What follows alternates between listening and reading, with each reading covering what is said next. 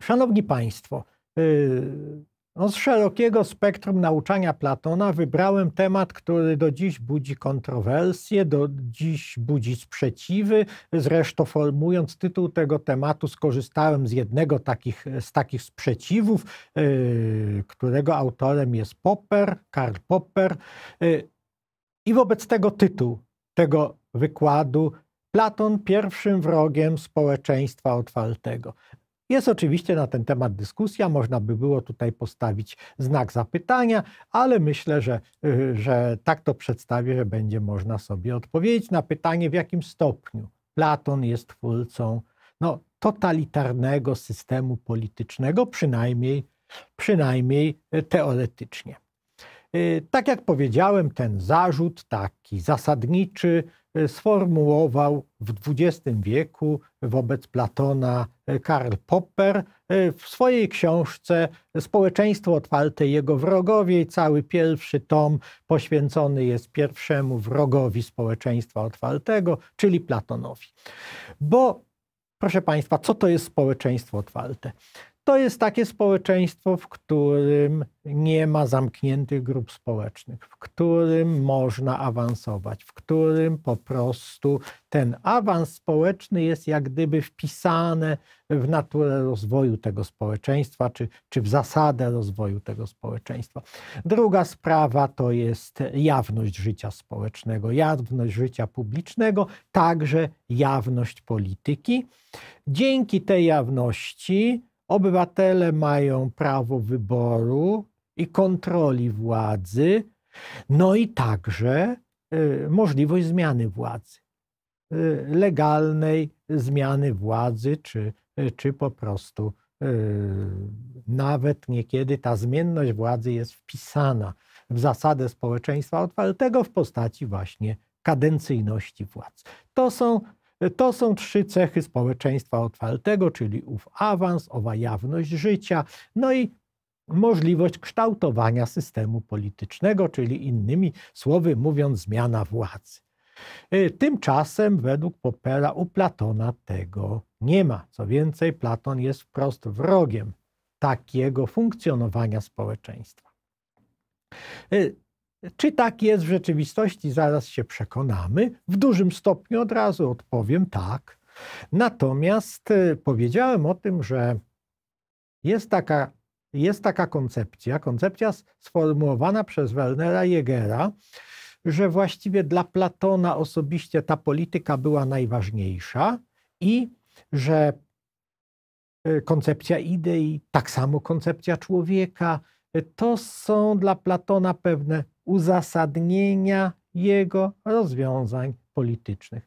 Czy tak jest w rzeczywistości? Trudno powiedzieć. Platon wprost o tym nie pisze, y, ale bez wątpienia te koncepcje leżą u podstaw, y, leżą u podstaw y, platońskich rozwiązań politycznych czy społecznych. Zresztą to jest normalne. Zazwyczaj koncepcja człowieka i społeczeństwa leży u podstaw jakichś tam rozwiązań społecznych. Jest tylko pytanie, co u Platona jest pierwsze?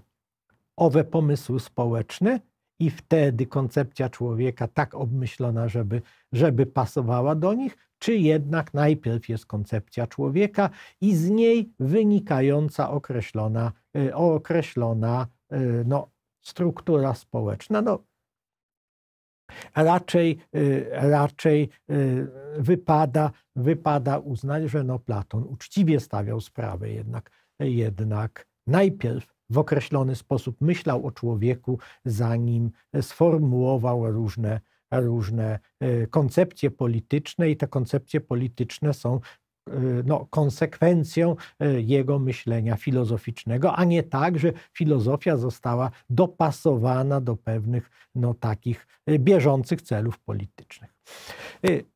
W związku z tym owa koncepcja człowieka, człowieka jako duszy uwięzionej w ciele. Platon uważa, że człowiek to jest dusza, czyli to nawet więcej, jak, to jest więcej niż gdybyśmy powiedzieli, że istotą człowieka jest dusza. Człowiek jest po prostu duszą, a ciało jest no, tej duszy więzieniem, czymś dla duszy niekorzystnym, czymś, co duszę ogranicza. Proszę Państwa, to od razu jasno no, hmm, y, ustala nam y, strukturę człowieka i konsekwencje tej struktury. Ciało jest więzieniem duszy, czyli jest jej ograniczeniem, odbiera jej wolność, odbiera jej swobodę, no, determinuje ją czy zmusza ją do określonych działań. I człowiek to jest właśnie taka dusza uwięziona w ciele. Y, I ta dusza istniała przed wcieleniem. Istniała przed wcieleniem, żyła w świecie idei, czyli w tym świecie inteligibilnym, czy w tym świecie duchowym, oglądała ideę, y, czyli poznawała prawdę, no i, i potem nastąpiło wcielenie. Y, Platon, no, można tak kolokwialnie powiedzieć, nie wie, dlaczego nastąpiło to wcielenie. W związku z tym tutaj no, pisze mit. Ale pisze te różne, w różny sposób to opisuje, więc, więc najczęściej korzysta z takich wierzeń orfickich, że za jakąś starodawną karę, za jakiś starodawny grzech ludzie, ludzie po prostu zostali wcieleni. W Timajosie sugeruje inne rozwiązanie.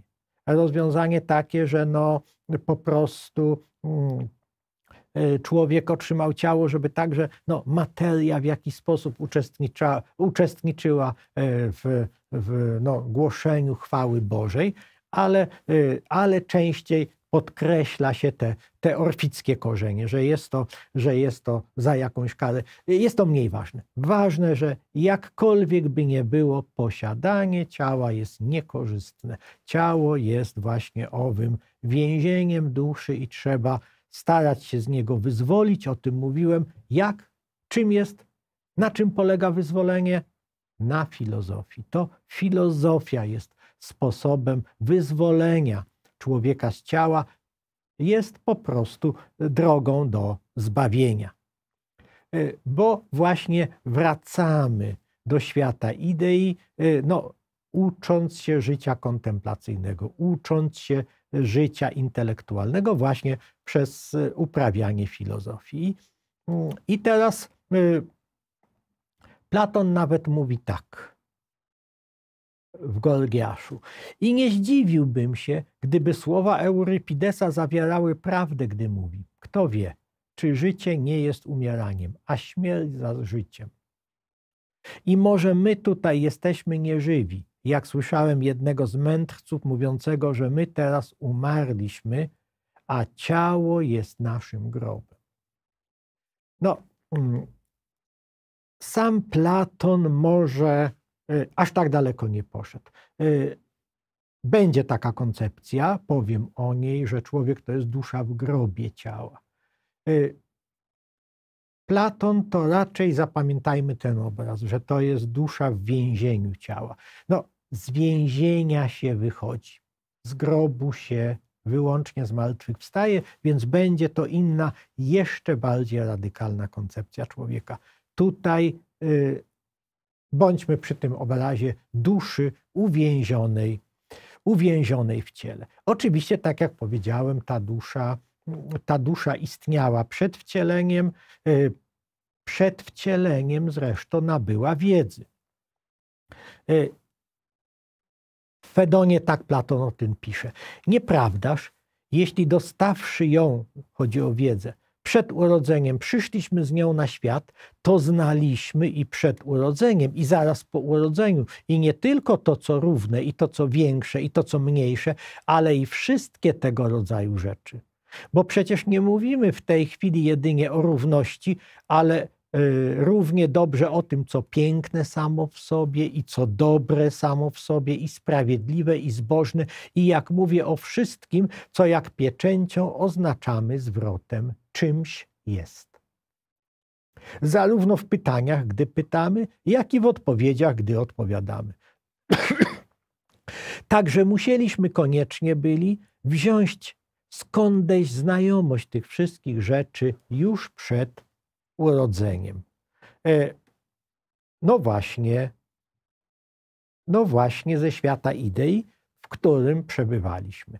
W związku z tym, no, y, nasza wiedza, nasze uczenie się w istocie jest przypominaniem sobie. Przypominaniem sobie tego, co, tego, co zapamiętaliśmy w świecie idei, co zatarło nam się no, w momencie tego, chciałem powiedzieć, lotu na Ziemię. Y, no ale, mm, ale są metody właśnie przez kształcenie filozoficzne, no, odtwarzania, przypominania sobie. Ta dusza y, istniała przed wcieleniem i będzie istniała po śmierci ciała. Dusza po prostu jest nieśmiertelna. Platon y, formułuje kilka y, takich argumentów za mm, nieśmiertelnością duszy. No na przykład w Fedonie mówi tak, że przedmiot, skoro my poznajemy idei idee, które są niezmienne i wieczne, e, i mamy te idee w sobie. No gdzie w sobie? W duszy. To znaczy, no, nasza dusza, skoro jest, no, e, no, chciałoby się powiedzieć, garnkiem przechowującym idee e, niezmienne i wieczne, musi mieć podobną naturę, czyli musi być też niezmienna i wieczna. W państwie przedstawia taki najbardziej malowniczy E, malowniczy argument za nieśmiertelnością duszy mówi tak. Każdą rzecz niszczy jej przeciwieństwo. Biel jest niszczona przez, przez czerń na przykład. Natomiast duszy nie niszczy jej przeciwieństwo. No bo co, jakie, jest, jakie są te istotne cechy duszy? Męstwo, umiarkowanie, mądrość. Tymczasem ani tchórzostwa, ani tchórzostwo, ani rozpusta, ani głupota nie, nie niszczą duszy. No bo tchórze, e, rozpustnicy i, i głupcy żyją wśród nas. Fajderosie jeszcze inaczej mówi. E, mówi o tym, że dusza jest zasadą ruchu a ruch jest wieczny. No to już y, jest takie chyba trochę właśnie nawiązanie do tego, do tego herakliteizmu, którego, którego Platon uczył się, uczył się w młodości. Proszę Państwa, Platon mówi o częściach duszy, albo nawet nie jest to jasne, bo raz tak, raz tak, o typach duszy. Y, ale no, zostańmy przy tej koncepcji y, części duszy. Otóż y, każda dusza ma trzy części. Mianowicie, część porządliwą, ta część porządliwa znajduje się w, w żołądku. No i ta, tę część porządliwą y, kieruje, no bo każdą z tych części duszy kieruje pewna cnota. No, częścią porządliwą, która nas no, skierowuje ku, ku, ku pragnieniu no, jedzenia, picia, tych spraw. Y, tą, tą częścią zarządza umiarkowanie. Y, dusza gniewliwa, dusza gniewliwa, która reaguje na zło, mieści się w sercu i tą duszą zarządza męstwo. Bo męstwo jest pewnym takim no, rozumnym stawianiem y, czoła niebezpieczeństwom. I ostatnia część duszy, część rozumna, która, y, która znajduje się w głowie, no, jest zarządzana przez mądrość. Proszę Państwa, y, ładnie to wygląda, ale jakbyśmy sobie wyobrazili, że nasza dusza E, i dusza każdego człowieka no jest e, zbudowana no, jak logotyp Mercedesa. To znaczy jest to koło podzielone na trzy równe części, no to tak nie jest. Nie jest tak, że my mamy harmonijnie po każdej tych części duszy. Każdy z nas ma jakąś przewagę tej duszy. Jeśli Państwo zwrócili uwagę na te cnoty, mamy tu umiarkowanie, męstwo, mądrość. Mądrość, która no, może by zastąpić roztropność z katalogu e, tych e, cnót kardynalnych, które znamy. Czego tu brakuje? Której cnoty brakuje? Sprawiedliwości. Brakuje cnoty sprawiedliwości, tej takiej, no, najważniejszej cnoty społecznej. Czyli proszę zobaczyć, Platon nie widzi, nie, nie znajduje miejsca dla sprawiedliwości w duszy człowieka. Bo sprawiedliwość, proszę Państwa, dla Platona to jest zharmonizowanie tych wszystkich, tych wszystkich e, trzech dusz. Czyli jeśli rzeczywiście nasza dusza by wyglądała tak jak logotyp Mercedesa, to wtedy moglibyśmy powiedzieć, że to jest człowiek sprawiedliwy. Ma porówno tych wszystkich dusz. Takich ludzi nie ma. W związku z tym harmonizacja tych dusz musi się dokonać w społeczeństwie. Czyli sprawiedliwość nie dotyczy jednostkowego człowieka. Sprawiedliwość dotyczy społeczeństwa. I w związku z tym, y, no, tak trzeba to społeczeństwo zorganizować, żeby no, ta harmonia różnych dusz, dusz, gdzie jest przewaga E, części porządliwej, gdzie jest przewaga gniewliwej czy rozumnej, właśnie w tym społeczeństwie, w państwie po prostu była zharmonizowana, czyli realizowała sprawiedliwość. I tę sprawiedliwość się realizuje przez podział na klasy społeczne. Tych klas społecznych Platon przewidział trzy. Pierwsza, najobszerniejsza to są żywiciele. Żywiciele to są ci, których którzy mają przewagę duszy porządliwej. W związku z tym, z tego powodu są niejako predestynowani do tego, żeby dostarczać państwu żywności, no bo produkują tę żywność i dostarczać państwu nowych obywateli, no bo, bo też mają taką no, naturalną skłonność do rozmnażania się. Obrońcy. Obrońcy, ci, którzy mają przewagę i u których dominuje dusza gniewliwa, no to właściwie y, no to, to są ci ludzie, którzy są zorganizowani, żeby bronić bezpieczeństwa wewnętrznego i zewnętrznego tego państwa, czyli najprościej mówiąc, jest to wojsko i policja. No i ci, którzy mają przewagę duszy rozumnej, mędrcy, no są z natury predestynowani do kierowania państwem, no i to są, to są właśnie politycy. I teraz, gdy tak te grupy, gdy tak społeczeństwo podzielimy na te, no chciałoby się powiedzieć, naturalne klasy, na te klasy, w których każdy no jest jak gdyby predestynowany przez charakter swojej duszy, no to wtedy w państwie realizuje się sprawiedliwość. E, no, Platon podkreśla, że te grupy są stałe, no nie ma możliwości przejścia z jednej do drugiej. E, i po prostu w związku z tym no, tutaj Popel mógł e, sformułować ten swój, ten swój zarzut z tego właśnie punktu widzenia. E, jeśli chodzi o władzę w tym państwie, zwraca się uwagę, że e, Platon, Platon ma dwie formuły tej władzy w dialogu państwo właściwie preferuje ustrój monarchiczny. I tam jest zresztą jasne.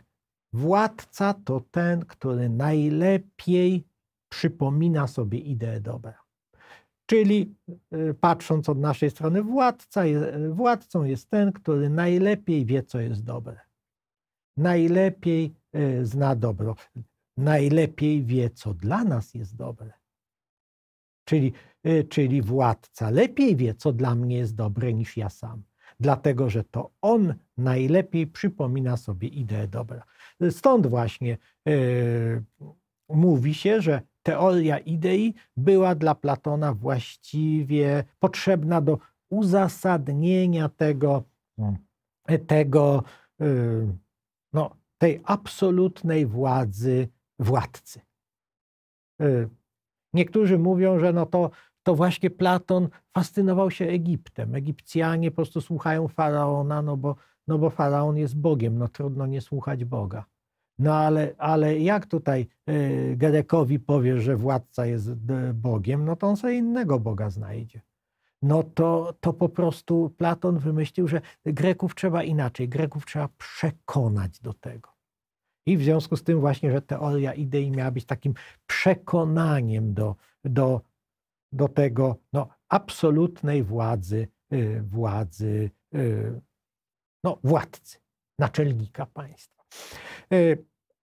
Nie wiem, czy to jest do końca prawda, dlatego że w prawach y, Platon trochę ustępuje. Mówi, że, to, że lepszy jest taki mm, ustrój y, mieszany.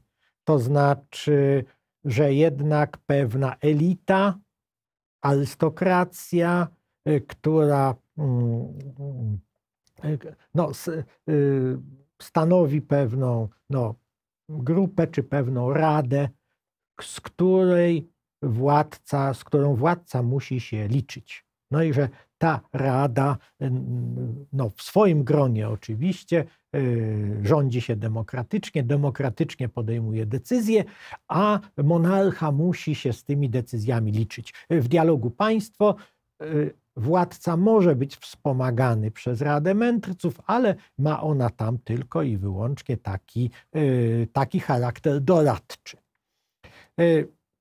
Proszę Państwa,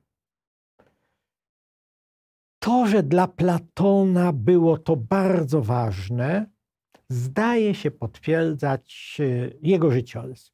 Jego życiorys, który no, mm, e, no, jak gdyby staje się też zrozumiały, czy potwierdzone są te dane właśnie dzięki listom Platona czy tak jak Państwu mówiłem poprzednio, w momencie, gdy uznano te listy za autentyczne. Mianowicie, to o tym już mówiłem po śmierci e, Sokratesa w roku 399. E, Platon chroni się w Megarze, bo, bo jeden z uczniów Sokratesa pochodził z Megary i, i po prostu udzielił schronienia tym, którzy się bali zostać w Atenach, i Platon także w tej Megarze się znalazł. W 380 i, i potem z tej Megary, jak powiedziałem, y, Platon podróżuje. W 388 trafia na Sycylię, do Syrakus, gdzie panuje tyran Dionizos I. Platon usiłuje tego Dionizosa przekonać no, do swojej koncepcji państwa. Do, no, chciałby, żeby Dionizos został filozofem i rządził tym państwem właśnie dla dobra, y, zgodnie z ideą dobra. Y. Dionizos początkowo, y, początkowo no, podobało mu się, że, że w swoim otoczeniu ma wielkich filozofów, ale gdy, gdy się zorientował, że wymagałoby to od niego pewnych cesji no, i, i jak gdyby yy, zmiany sposobu rządzenia, no to, no to dla Platona skończyło się dość, e, to dość nieprzyjemnie, mianowicie Dionizos kazał go związać i sprzedać do niewoli. Dobrze, że, e, dobrze, że w Polcie zobaczyli go neopitagorejczycy i go wykupili i zwrócili mu wolność. E, Platon po tej nieudanej misji politycznej wraca do Aten, w 387 zakłada akademię. Ta akademia staje się no, bardzo szybko słynną, najsłynniejszą szkołą Aten. Będąc słynnym człowiekiem w Atenach, scholarchą akademii, no, rektorem akademii, dwa razy. W 366 i w 361 Platon udaje się na, no, w niebezpieczną podróż do Syrakus, do następcy Dionizosa I, aby jego przekonać do no, wprowadzenia ustroju filozoficznego. Y, to oczywiście y, kończy się także, y, także klęską. Platon wraca do Aten, umiera w roku 348, choć platonicy mówią, że nie umiera. Znudziło mu się i po prostu już być na ziemi, uznał, że spełnił swoją misję i po prostu wstąpił do świata idei. Proszę Państwa, ale historycy, zwolennicy tej takiej politycznej interpretacji filozofii Platona zwracają uwagę na ten fakt. Słynny człowiek, scholarcha Akademii. I dwa razy no, jedzie w taką niebezpieczną podróż. No to, no to tak, jak, tak jakby, nie wiem, yy, tak zawsze to sobie wyobrażam, jakby ktoś tutaj z naszej elity intelektualnej yy, wybrał się do Korei Północnej i, i próbował tam Kim Jong-ila czy, czy, czy jak się nazywa teraz ten władca, namówić do wprowadzenia demokracji w stylu europejskim. No to, to, to, to było coś, coś podobnego. Świadczy to o tym, że rzeczywiście dla Platona jako człowieka te sprawy polityczne były ważne. Czy aż tak ważne, że podnie sformatował swoją filozofię? No chyba nie. Ale niewątpliwie no, z tej filozofii to, to taka koncepcja państwa wynikała. E, Jaka mianowicie? Oprócz tego, tej roli władzy, oprócz podziału na klasy, właściwie Werner Jäger mówi, że politykę Platona można nazwać wychowaniem, można nazwać e, paideją. Dlaczego? Otóż, proszę Państwa, z bardzo prostego powodu. Mianowicie, jak mówimy o klasach społecznych, no to zawsze wyobrażamy sobie takie klasy społeczne, jak znamy. Y, u nas też one funkcjonują, no, że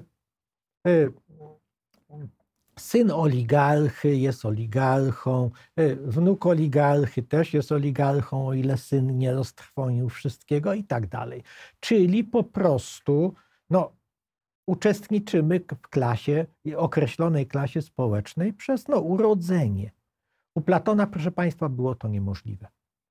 Ja o tym wspomniałem, że nowych obywateli państwu dostarcza tylko klasa żywicieli. ani filozofowie, czyli władcy, ani obrońcy nie mają dzieci, nie żenią się, są celibatariuszami.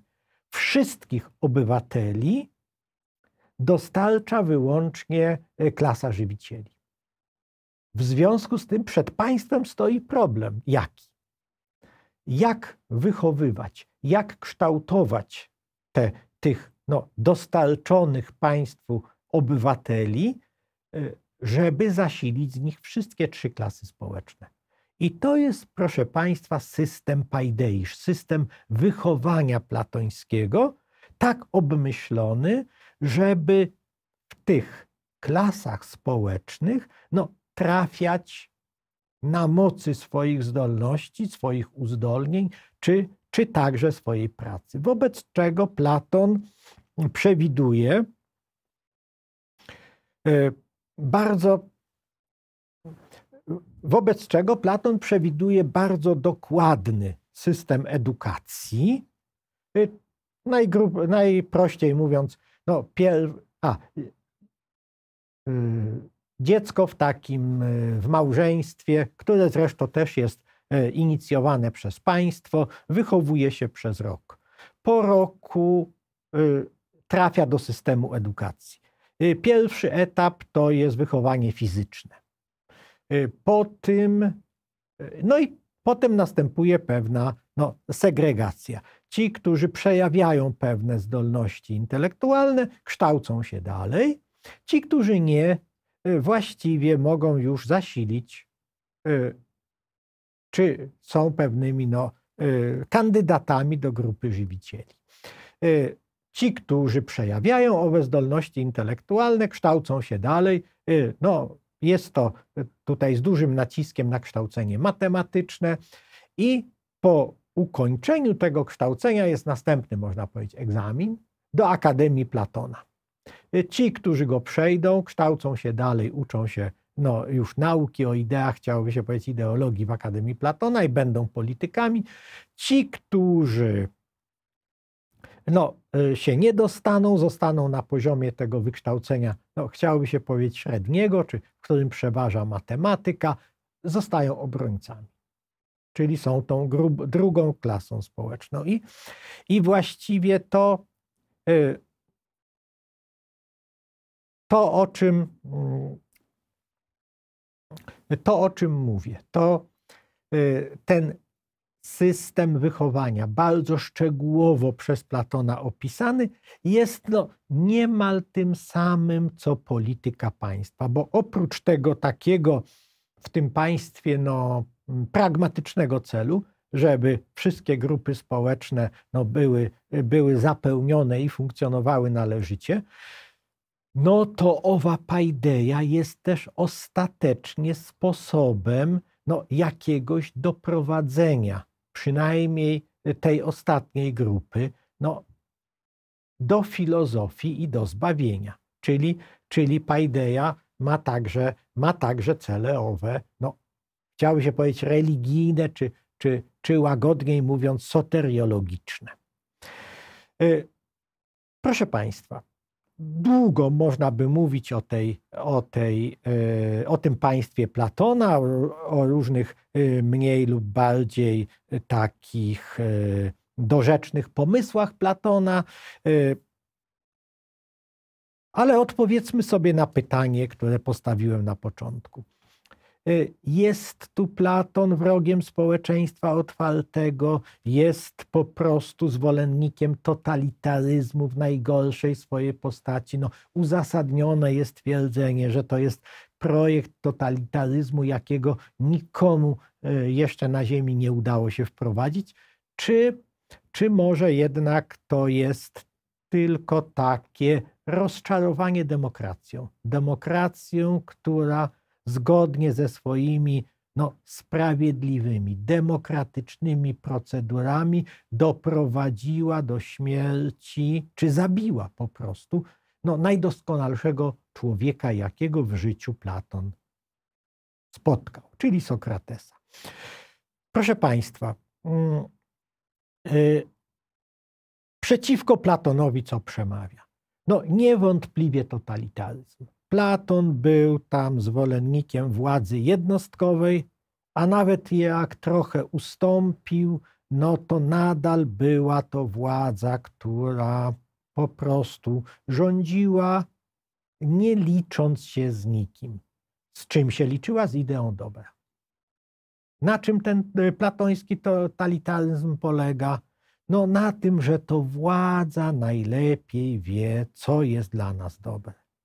Proszę Państwa, to jak Państwo wiedzą, jest to stała cecha władzy. Władza wie, co, co, co dla nas dobre, władza nas chroni przed wszelkimi niebezpieczeństwami, no, y, uchroniła nas przed pandemią, to Państwo wiedzą. Y, przede wszystkim zakaz wstępu do lasu uchronił nas przed, przed po prostu no, likwidacją całej populacji w wyniku pandemii. Y, to jest marzenie każdej władzy. Platon, Platon o tym wiedział i to, i to w tej koncepcji, w tej koncepcji y, państwa zawarł na pewno. Kolejna sprawa to elitaryzm. Są tam grupy społeczne, jak już się w jakiejś grupie społecznej ktoś znalazł, awans właściwie nie jest możliwy.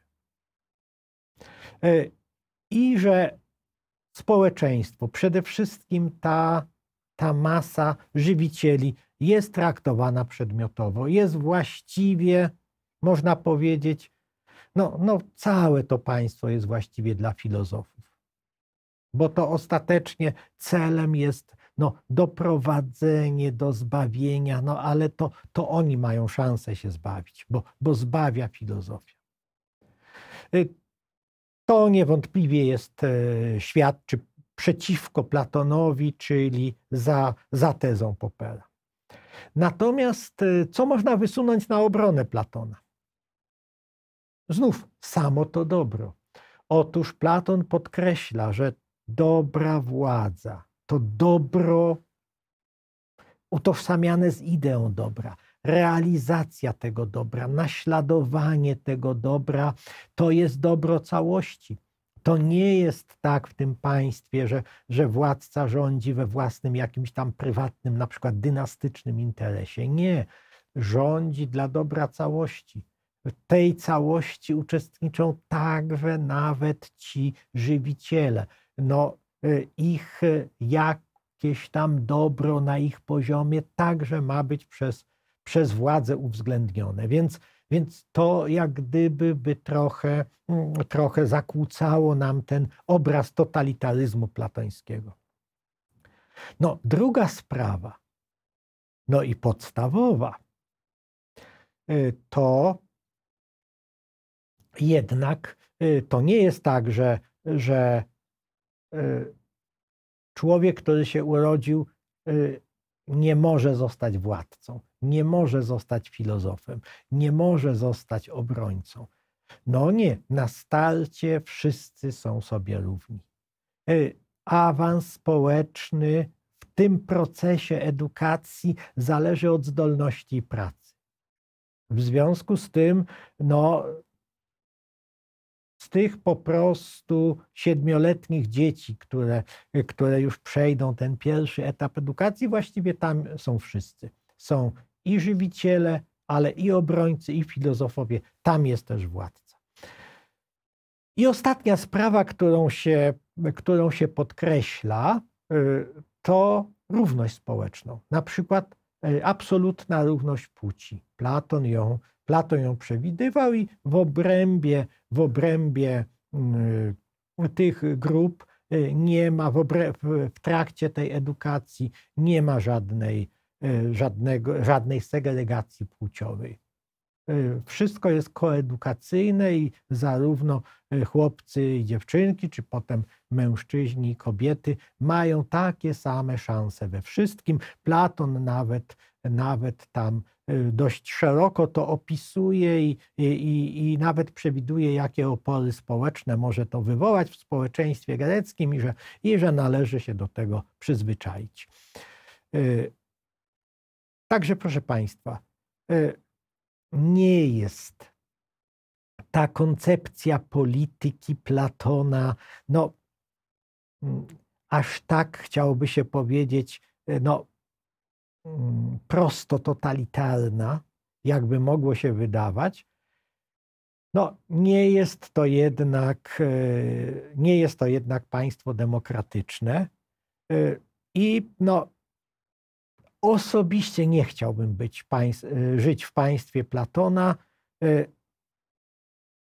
Czy państwo by chcieli? No, trzeba sobie, trzeba sobie na to pytanie, czy można sobie na to pytanie próbować odpowiedzieć. Dziękuję bardzo za uwagę.